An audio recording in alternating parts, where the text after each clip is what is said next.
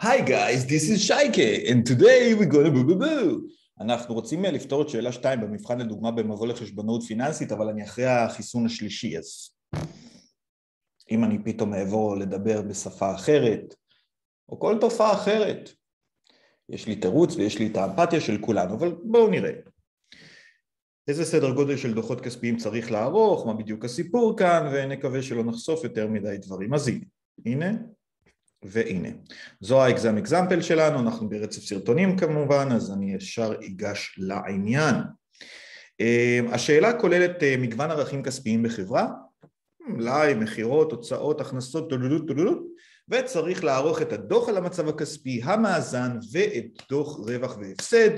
אה, לא חובה לספק בהורים משיקולי חיסכון בזמן, מי שרוצה ויש לו זמן יכול. אה, דבר קטן, לא תמיד אנחנו נותנים בהכרח במבחן אמיתי בקשה לערוך את שני הדיווחים, יש מצב שנבקש רק מאזן, יש מצב שנבקש רק רווח והפסד, אתם חייבים לערוך הכל ולכן בתרגיל הזה אנחנו נערוך את הכל, כי המטרה שלנו להתארגן לכל תרחיש. אז בואו נעשה את זה חבריי בעלי הפרעות הקשב, בואו נראה.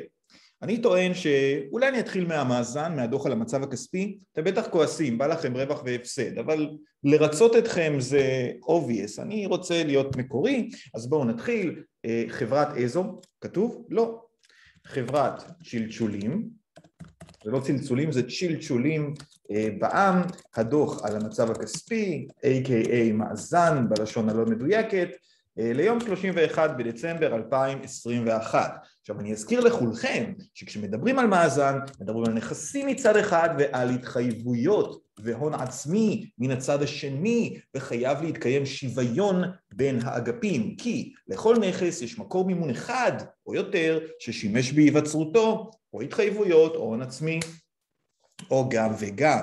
בצד הנכסים אנחנו כמובן מוצאים תחילה את הנכסים השוטפים, את הנכסים שפרק הזמן הצפוי עד למימושם או מיצוים הוא שנה או פחות באופן עקרוני ומיד מתחתיהם נמצא את הנכסים הלא שוטפים ואז את סך הנכסים אשר למעשה סוכמים אה, את צד ימין של הדוח על המצב הכספי בהצגתו המקובלת מבחינתנו. עוברים לצד שמאל, הקבוצות הן התחייבויות שוטפות התחייבויות שפרק הזמן עד לפירעונן, סילוקן הוא שנה או פחות, התחייבויות לא שוטפות, וכמובן פריטי ההון העצמי המוגדרים היטב בקורסנו. זהו, ואז מגיעים לסך ההתחייבויות וההון העצמי, וטוב לכם וטוב גם לי. עכשיו אנחנו רוצים לדעת מתוך הנתונים בשאלה מה הולך לכל מקום, once אני מכיר את המבנה העקרוני וכמובן את הזהות בין האגפים, אנחנו מיד נשתלט על זה בצורה מאוד יפה, אתם לא צריכים כמובן לסדר את זה בצורה מדהימה כמוני, אני פשוט אה, ארטיסט בהקשר הזה. אוקיי, אז הנה והנה והנה, כן כן זה מדהים, ואז אני מתחיל. אני עובר על הנכסים השוטפים ומה שאני אעשה אתם תקבלו את המבחן מודפס מן הסתם. אז תבואו עם עט, כן, אולד סקול כזה, לא יודע אם אתם רואים כזה ופשוט תסמנו מה שאתם עוברים עליו כדי לא לעבור עליו פעמיים. אז אני מתחיל למשל מלאי סגירה, סבבה? מלאי סגירה הוא קצת מיוחד כי מעבר לזה שהוא מופיע בנכסים השוטפים בתור מלאי, זה מלאי, זה מלאי סגירה אז הוא גם מופיע ברווח והפסד, בעלות המכר אז צריך להיזהר קצת מזה אבל הוא בנכסים השוטפים, 17 אלף שקלים. חוץ מזה, מכירות לא שייך, הוצאות לא שייך, או מחשבים עלות ומחשבים פחת נצבר. זה יפה, כי פריטים כאלו, כמו מחשבים, מכונות, כלי רכב וכולי, מהווים רכוש קבוע בהגדרה, אשר מוצג בנטו, בדוחות הכספיים, בסעיף הרכוש הקבוע, בסכום המהווה את ההפרש בין העלות לבין הפחת הנצבר. כל הערכים כאן מעודכנים לתום שנה, אז אני אקח את העלות של המחשבים, פריטי הרכוש הקבוע פה, אפחית את הפחת הנצבר, הנה תראו כמה זה יפה, בום, 49 אלף. עכשיו, אם היו עוד פריטים מסוג רכוש קבוע, נניח חוץ ממחשבים היו גם מכונות או כלי רכב וכן הלאה, אז הייתי מחבר את כולם יחד.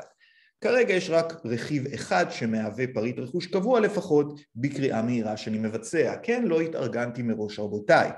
הוצאות פחת מחשבים אין בעיה, זה הוצאות ספקים. או, ספקים נשמע לי כמו התחייבויות שוטפות, נכון? אז בואו נרשום את זה כאן, התחייבויות לספקים ונותני שירותים, 4,000, מקווה שאני רושם נכון, אם לא אז אחר כך בקומנטים למטה תגידו לי מה העתקתי לא נכון כי העיקר זה להבין את המבנה והלוואות לזמן קצר שגם זו התחייבות שוטפת. הנה אתן, מעולה. מה עם מזומן? אגב אין בחברה מזומן, מה איתה? טוב, נראה לאט לאט.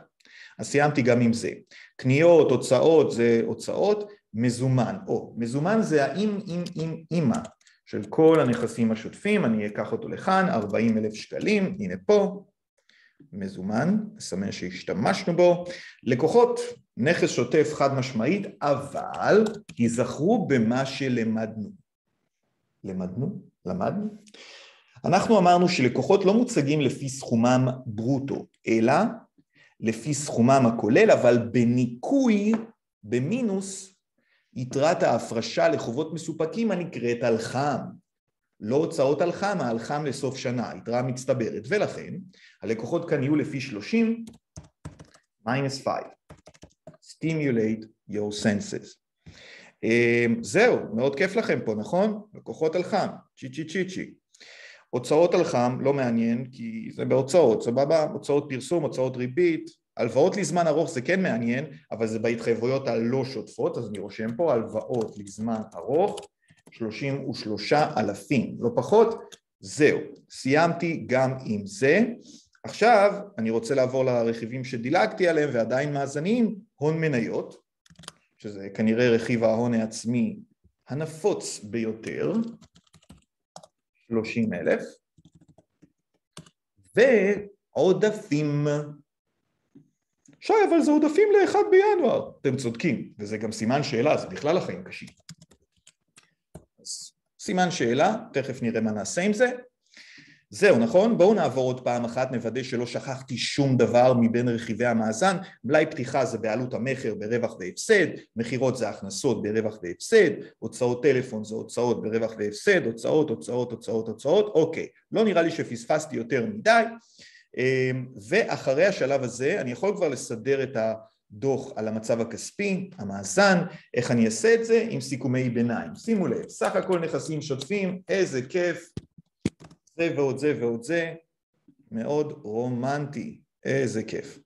מה לגבי התחייבויות שוטפות בצד השני? אהה, סיכום ביניים באותו הקשר.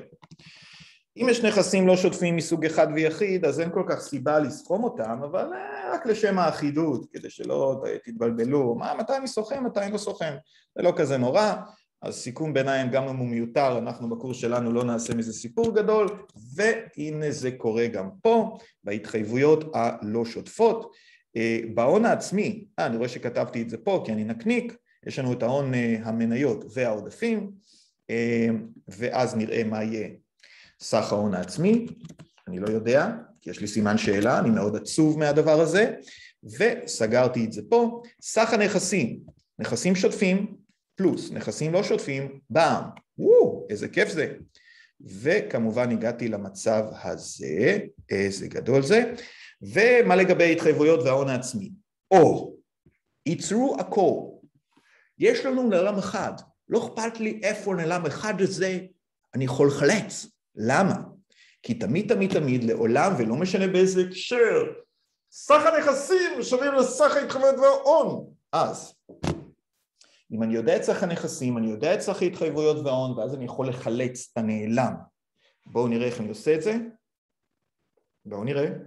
כן כן. יפה.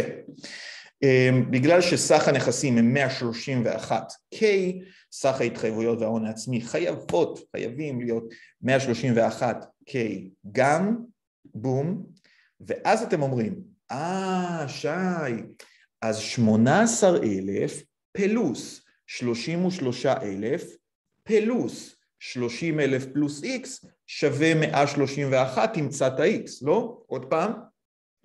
סך הכל התחייבויות שוטפות ועוד סך הכל התחייבויות לא שוטפות ועוד סך הכל הון עצמי 30 אלף פלוס עודפים X שווה ל-131 אלף סך ההתחייבויות וההון כי הן חייבות להיות שוות לסך הנכסים בשורה בתחתונה, אני יכול לעשות את זה, כמובן באקסל זה קצת, זו קצת רמאות, אבל זה הכי כיף בעולם, זה לקחת את ה-131 ופשוט להחסיר ממנו את כל הרכיבים האחרים. כלומר הסיכום הכולל, אם אני מפחית ממנו את הטוטל של ההתחייבויות השוטפות, את הטוטל של ההתחייבויות הלא שוטפות וגם את הון המניות ואו רכיבי הון אחרים אם קיימים, אני מחלץ את רכיב העודפים החסר, בום.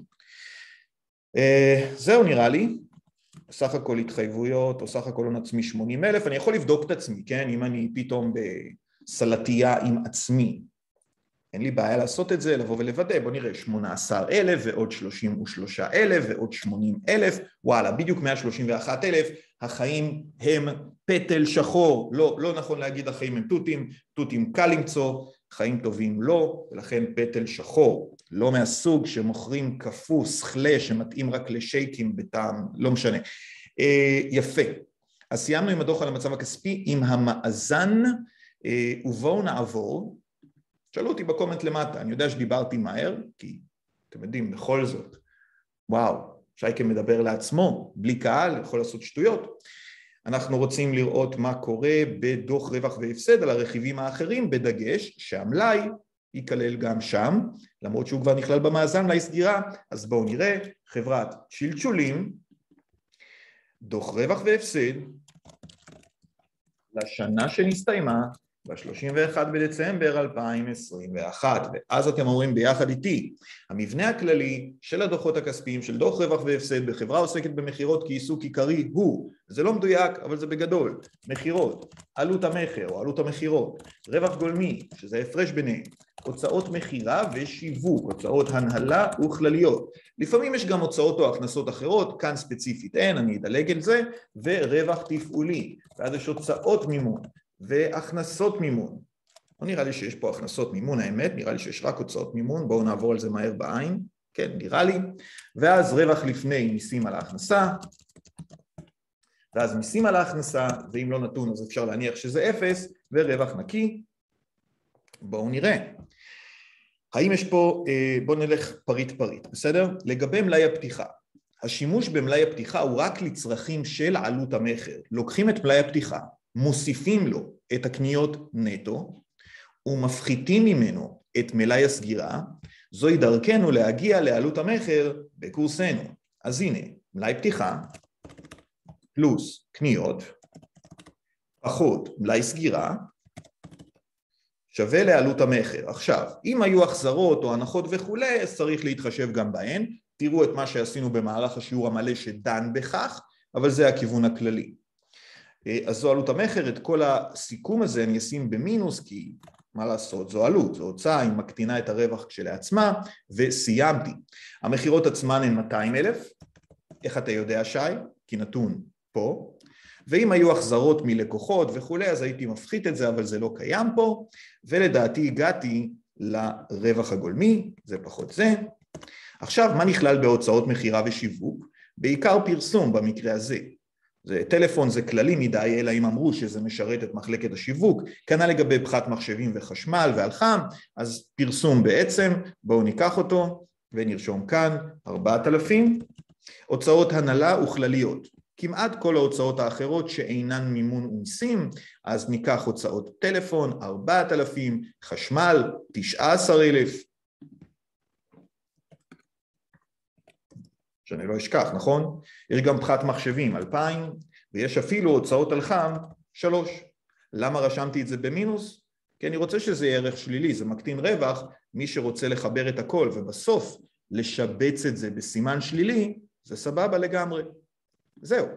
עכשיו אה, המשכנו להוצאות ריבית, אבל רגע לפני, רווח תפעולי הוא רווח גולמי, בניכוי הוצאות מכירה ושיווק ובניכוי הוצאות הנהלה וכלליות. הוצאות מימון, עמלות בנקים, הפסדים פיננסיים, הוצאות ריבית בצורה המובהקת ביותר ורווח תפעולי. בניכוי הוצאות מימון הוא רווח לפני מיסים על ההכנסה, מזה אנחנו מנקים את המיסים הון דהכנסה, אבל כאן אין אפס, איך אפס שי? זירמו אם אין הזן והולכים או מגיעים לרווח נקי, לא יודע, אולי יש לה הסדר מיוחד לחברה הזו, בכל זאת, שלשולים זהו רבותיי, איזה כיף, בואו נראה מה קיבלנו בסך הכל. בום שלק. נעשה איזה סיכומי ביניים יפים, כי אתם מאוד אוהבים, אני ראיתי שחייכתם כשעשיתי את הריבועים האלה, את המלבנים הללו. הנה, ככה. אה? יותר טוב מזה נשתגע. אני אעשה גם מפרידי אלפים בסעיפים האחרים, שלא תגידו שאני לא משקיע. תגידו, שי, תעשה את זה אחר כך, מה אתה מבזבז לנו זמן הקלטה וקשב? כן, אבל אתם יודעים, אנחנו כאילו באים בטוב, אנחנו באים בטוב. נעשה גם פה, נעצב את זה עוד טיפה. כי זה לא באמת סרטון, נכון? זה דיאלוג בינינו, אנחנו כמו חברים עכשיו. זהו. והדבר החתיך הזה, וואו, כמה אתה יפה. זה בעצם גם המאזן וגם רווח והפסד, שימו לב טוב לנדרש בשאלה, לפעמים אני יכול לדרוש רק דבר אחד מתוך השניים. אה, זהו, זהו, לקח קצת זמן, אני יודע, צריך להיות קצת מיומן, צריך לשים לב בדיוק מה שואלים, אבל אה, בגדול זה ייתכן, זה אפשרי, כל עוד אנחנו אה, כאן שרים. אני מקווה שהיה ברור, אם לא ברור אז בכל שלב שבו עשיתי משהו מוזר אתם יכולים לרשום לי פה בקומנטים למטה עם האזכור של הדקה הספציפית והשנייה הספציפית שבה דיברתי שטויות איפה בדיוק צריך ליבון ואני אדאג להשיב, חוץ מזה אני מזכיר שתהיה לנו עוד שעת קבלה, אנחנו נתאם אותה בהמשך ואז תוכלו אה, גם לשאול אותי בלייב סינכרוני, אם זה נורא חשוב לכם. אז תודה רבה בינתיים לצופים בבית ואנחנו נתראה אוטוטו כשנפתור את שאלה שלוש של הבחינה.